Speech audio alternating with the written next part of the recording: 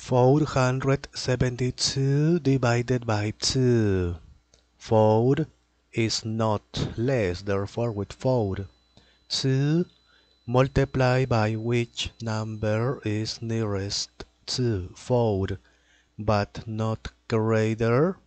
2 multiply by 3, 6. 6 is greater.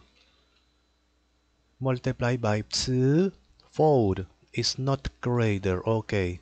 Subtract 4 minus 4. Next.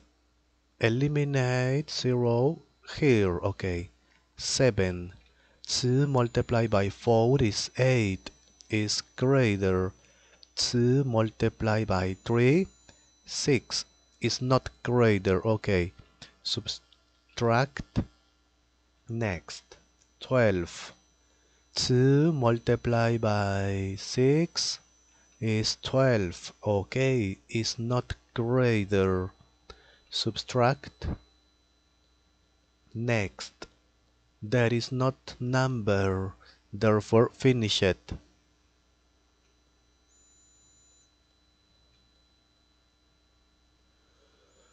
Okay.